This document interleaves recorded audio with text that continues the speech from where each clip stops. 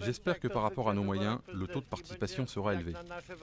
D'un autre côté, j'aimerais beaucoup savoir pourquoi en Pologne, le taux de participation est aussi faible, comparé à celui des autres pays européens.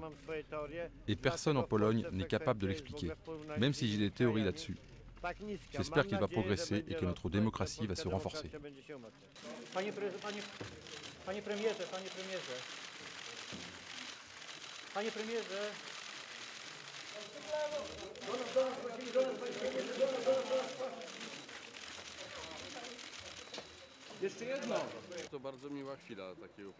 Ce silence préélectoral est un moment très agréable après cette campagne inhabituelle. Elle était pleine de tensions.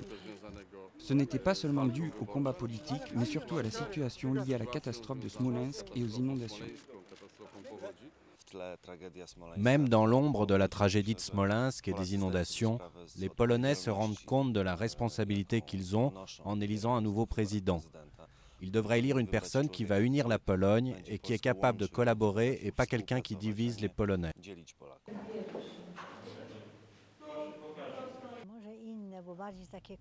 Ces élections sont différentes, peut-être un peu controversées.